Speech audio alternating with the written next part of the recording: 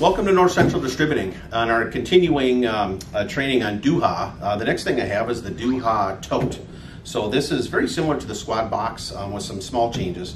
Um, but what is the same for DU-HA is, uh, of course, very high quality, um, heavy duty latches, a high grade of roto-molded uh, material for the housing, um, the spring-loaded latches so they don't vibrate and go down the road. It's got wheels on it too, so you can roll it around to where you need it.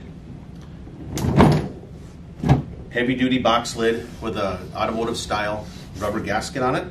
These removable storage trays with, again, removable tray dividers. So you can put nuts and bolts in here. They could be shells. Um, they could be anything that you need to have stored in your tote. So these to remove come out of it. There's two of them. Um, this one also comes with a slide bracket kit so that when you mount it, you can get it to, to slide in and out. So the slide bracket kit comes with it.